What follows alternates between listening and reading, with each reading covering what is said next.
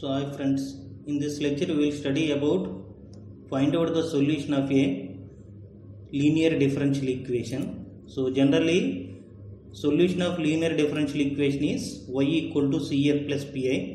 Already we are studied about how to find out complementary function. So in this lecture we will study so how to find out pi. So generally so general form of linear differential equation f of d of y equal to q of x. So in this 1 upon f of d is inverse operator of f of d. If y equal to 1 upon f of d into q of x satisfies the given linear differential equation then it is a particular integral. So in this lecture we will study about how to find out pi in general method. So for this we have to remember these formulas. So generally d means what? So d is the differential operator which is equal to d by dx. So now 1 upon d means it is integration 1 upon d of some function of x q of x equal to integral q of x dx 1 upon d minus a q of x equal to e raised to ax into integral e raised to minus ax q of x dx q of x means this RHS 1 upon d plus a q of x equal to e raised to minus ax integral e raised to x q of x dx whenever here minus is there here plus this is minus here plus means this is minus and this is plus now solve d square plus 3d plus 2 of y equal to sine e raised to x so first of all you have to write the auxiliary equation AE. So that is we are equating this f of d. f of d is d square plus 3d plus 2. We are equating this f of d to 0. So d square plus 3d plus 2 equal to 0.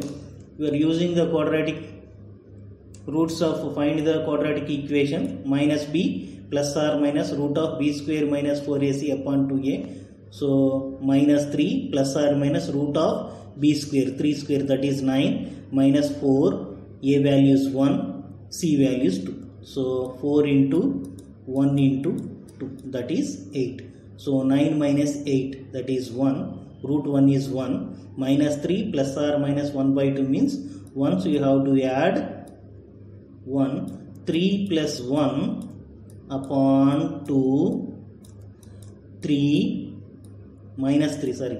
Minus 1 upon 2 so minus 3 plus 1 is minus 2 minus 2 upon 2 is minus 1 similarly minus 3 minus 1 is minus 4 minus 4 upon 2 is minus 2 so these roots are real and unequal roots. So in case of real and unequal roots what is the if m1 m2 are the roots c1 e raised to m1x plus c2 e raised to m2x so in this case c1 e raised to minus x plus c2 e raised to minus 2x.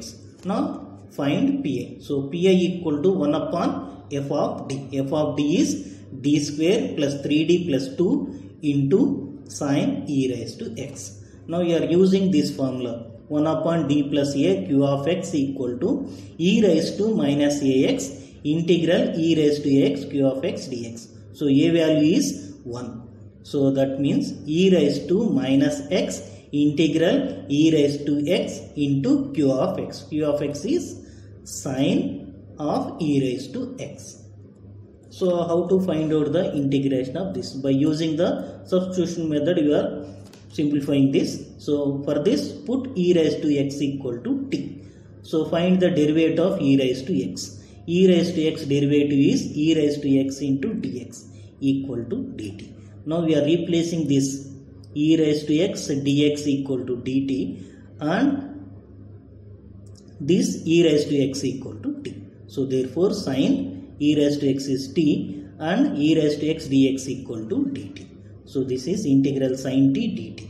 What is the integral of sine t? Integral of sine t is minus cos t. Again we are replacing this t with t. What is t value? t equal to e raised to x. So 1 upon d plus 2 e raised to minus x into minus cos of t t e raised to x. Again we are using the same formula 1 upon d plus a q of x that is e raised to minus ax integral e raised to x into q of x dx.